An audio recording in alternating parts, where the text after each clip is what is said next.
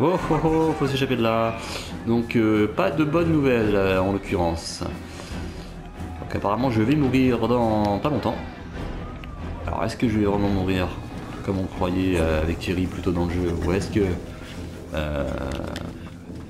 est-ce que en fait ça va juste être ce que les gens croient parce qu'ils vont me trouver je sais pas une casquette à moi dans des décombres ou tout ça alors qu'en fait peut-être je ne serai pas mort. Ça reste à voir. Parce que bon, c'est un petit. C'est vrai que dans le scénario, euh, il peut y avoir des surprises, je pense, comme j'en ai eu dans le passé. Par contre, euh, c'est vrai que euh, là, je voudrais revenir vite fait sur ce qui s'est passé avant.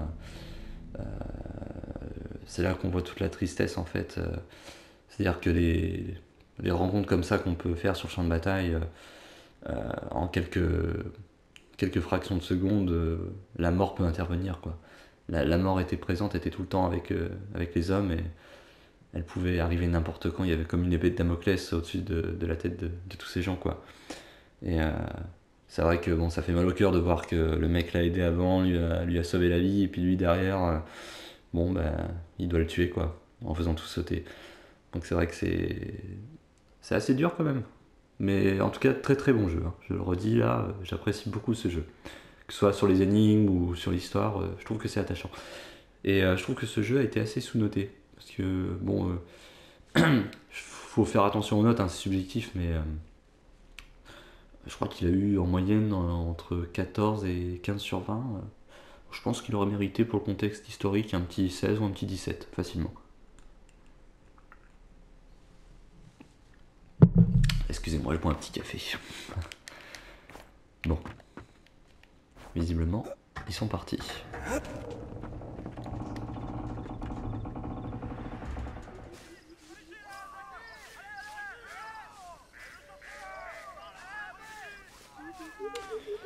Arrache-toi de là, t'es pas de ma pente, cache-toi tu pues, et j'ai la frousse. Y'a personne, monsieur, hein, y'a personne. Putain, le mec il voit rien, quoi. Je suis juste à côté, mais je regarde devant lui.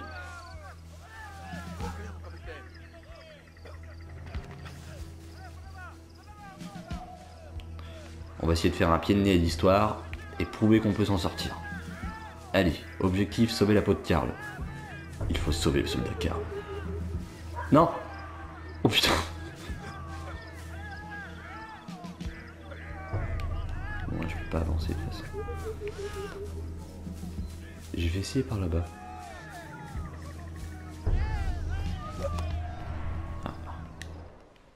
Toile de tente. La toile de tente est le refuge du soldat. Bien souvent, ils ne montent pas leur tente, mais ils s'enroulent dedans pour rester un peu au sec. Les autres vêtements ralentissant trop les déplacements et mettant les soldats en danger.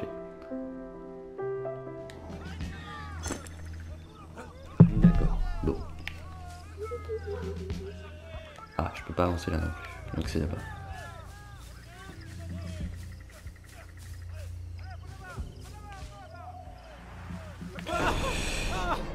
Et ben je- j'ai été pris. Voilà. ça, ça me pendait au nez, ça devait arriver.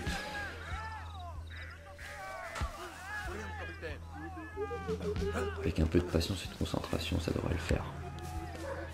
Excusez-moi, j'ai la voix un peu prise là. Alors si vous comprenez pas trop ce que je dis des fois, euh, vraiment désolé.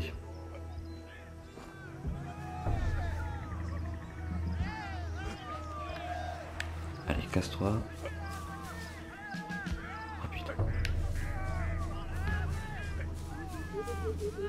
Casse-toi.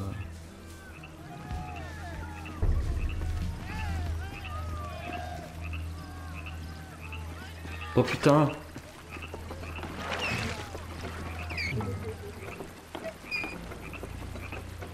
Ouais. Ah putain, j'aurais j'ai trop réfléchi, je crois. Non Non, non, on pas. M'en sors bien là-dessus.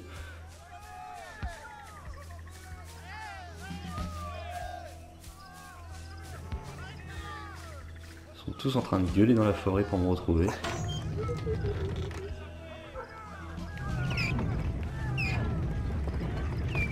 Eh ben, prions. Ah ouais, non mais... Ah ouais, mais si ça se lève comme ça le truc, euh, je suis pas prêt de rentrer moi. Je suis pas dans la merde là. Pas un endroit pour se cacher.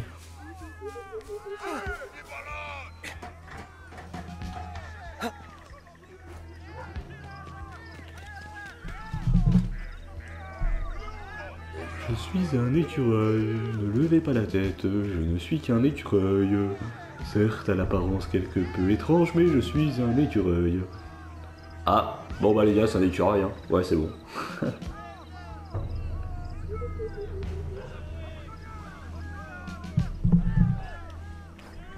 ils ont pas l'air de bouger par contre.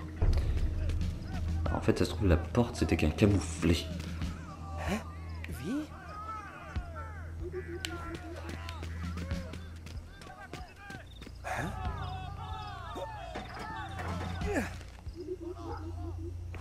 Qu'est-ce que...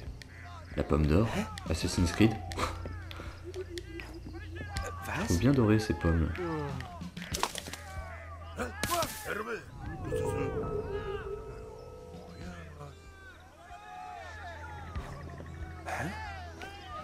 Elles sont un peu couillons les mecs, hein, parce que normalement quand t'as un truc qui tombe dans l'arbre comme ça, le premier réflexe c'est de lever la tête. Hein. Donc euh, j'aurais dû être repéré. Ah ok, bon, c'est des pommes. Une pomme peut vous sauver la vie. C'est l'animus. Je crois que dans Assassin's, dans Assassin's Creed, euh, il faut trouver une pomme d'or hein, en récoltant tous les objets de l'animus ou je sais pas. Enfin, moi je me suis arrêté aux deux, hein, personnellement. J'ai fait le 1 et le 2, puis ça m'a saoulé. Euh, je sais que ma copine euh, est fan, euh, par contre, de toute la série des Assassin's Creed et bon. Je la regarde jouer, mais personnellement, je, suis pas trop chaud pour le faire. Je trouve que ça se répète vraiment trop dans le gameplay. C'est un peu toujours pareil, ils changent juste le lieu, et puis c'est tout quoi. Revenons à nos moutons. Correspondance interarmée. C'est une carte spéciale envoyée par un militaire à un autre militaire. Les deux frères peuvent correspondre, même s'ils ne sont pas stationnés ensemble. Les fratries sont souvent séparées. Ah. Même en cas de décès d'un membre de la famille, aucune exemption ou libération anticipée n'était accordée. Oui, bah ça, ça m'aurait pas étonné. Ceci aboutira à des catastrophes humaines, avec des familles entières qui disparaîtront. Ouais. Ah, mais ça aussi, ça m'étonne pas. Et ouais, tout ça pour la fierté de la nation qu'on met sur le dos de pauvres gens qui rien demandé et qu'on envoie se faire tuer sur le front. Vive la France. Vive l'Allemagne aussi. hein. Malheureusement, c'est pas le seul pays où il y a eu euh, ce genre de choses qui se sont produites. Alors oui, si vous trouvez des fois que je parle un peu trop politique ou histoire, euh, dites-le moi, hein, si vous voulez que je reste plus des fois basé sur le jeu, mais bon, je pense que ça peut être intéressant de livrer quelques anecdotes euh, en rapport. Et puis bah surtout, moi je suis vraiment un passionné d'histoire, voilà, pour ceux qui ne savent pas. Et euh, donc c'est un plaisir euh, de vous donner des petites anecdotes que je peux savoir. Bien sûr, je ne sais pas tout. Si vous savez des choses, euh, n'hésitez pas à les laisser en commentaire, ça fait toujours plaisir. Et je remercie Crony de sa fidélité, voilà, de suivre mes vidéos et il est l'une des personnes pour lesquelles je fais ces vidéos parce que voilà, je sais qu'il les regarde et c'est très motivant. Voilà, s'il n'était pas là à les regarder, euh, je serais peut-être un peu moins motivé euh, quelque part. Et donc euh, merci aussi à Copiocraft et puis à tous les autres qui regardent mes vidéos. Je vous fais un gros coucou. Alors. Coup de poing? Tiens J'adore le.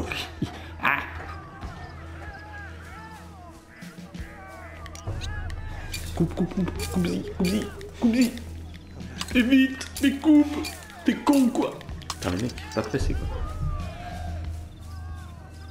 Aujourd'hui, allons nous promener en forêt, nous dansions et nous chantions. Aujourd'hui, allons nous promener en forêt, en forêt, une peau de bête. Une peau de chèvre, les soldats, quand ils étaient dans les tranchées, s'abritaient du froid comme ils le pouvaient. Et certains privilégiés s'enroulaient dans des peaux de bêtes. Moutons slash chèvre, pour se préserver sans préservatif, c'est mieux qu'un nominatif. Un bon coup de laxatif, ça donne comme des envies d'infinitif. N'importe quoi. Là, j'ai craqué. Vous êtes un peu en retard quand même. Ça fait un moment que les pommes, je les ai faites tomber. Bon allez les gars, on relâche. Hein. En fait tout ça ce n'est qu'un vaste jeu. Excusez-moi, une petite gorgée de café là, ça me fait avancer, ça me donne des forces dans ce froid nocturne.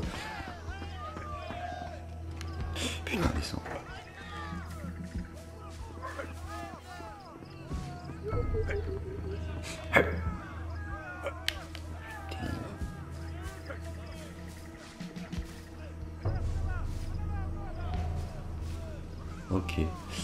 Je pense qu'il va me falloir la bouteille qui va me servir à casser ce truc et après qui va me permettre de passer. Putain là, j'aime pas, fait une espèce de course en haut. Oh là là là. Faut pas se presser surtout. Il y a un mec dans la... Ah bah oui, mais par contre il court. Descends, descends, oui, bravo.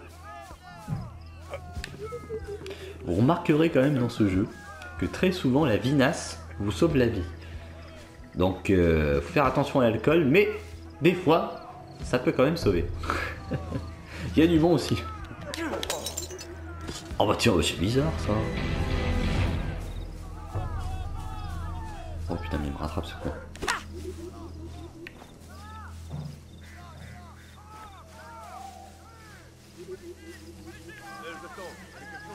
Euh... Ok, j'ai compris. Je dois pouvoir soulever l'épouvantail. Ouais.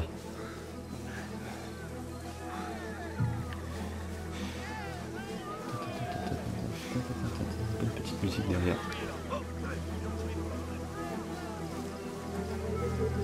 Astucieux. Très astucieux.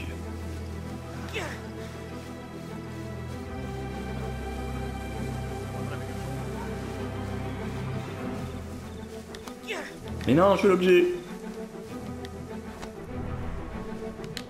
Oh. Pretends you. Join your country's army. Ce magazine, le London Opinion, encourage les civils britanniques à s'engager. La couverture montre Lord Kitchener, le secrétaire de la défense, pointant du doigt dans une pause qui marquera l'histoire. Ce visuel sera repris et adapté par les Américains pour leur recrutement en 1917. I want you! I want you!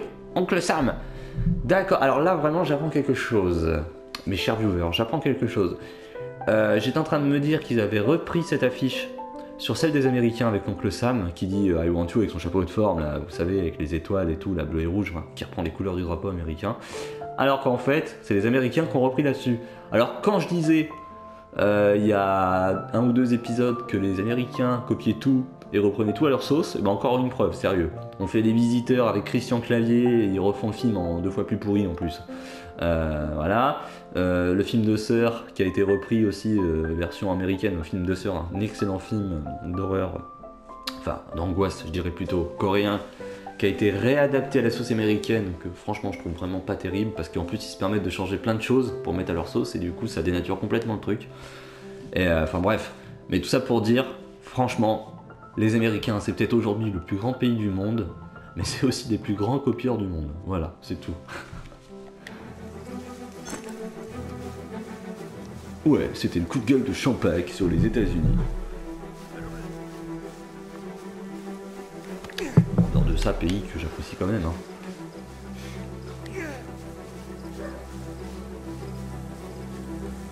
Allez, barre-toi. Je me suis fait un pote.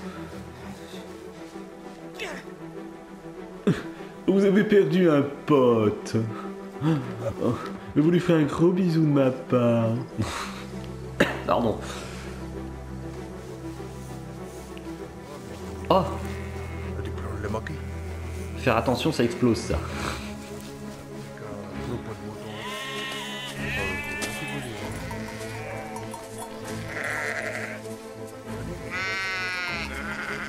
Oh.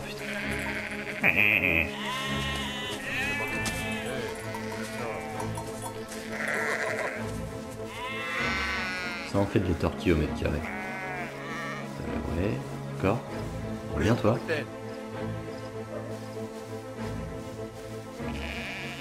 Fais pas un faux bon, je te retransforme en méchoui toi.